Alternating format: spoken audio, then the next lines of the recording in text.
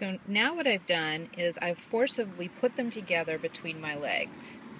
So you can see that I'm sitting sort of quasi cross-legged and I'm using my feet to keep their heads together. Their butts are towards my crotch area and their heads are sort of between my feet and I'm my goal here what is going through my head is get them used to being in like full contact with each other and get them to feel like it's a pleasant thing.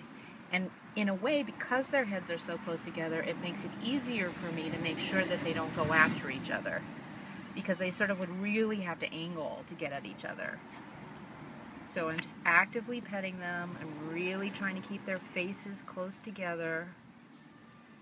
Um, and then the rest is sort of patience. You just really want to just have it in your head Stay calm, enjoy being next to each other. Stay calm, enjoy being next to each other.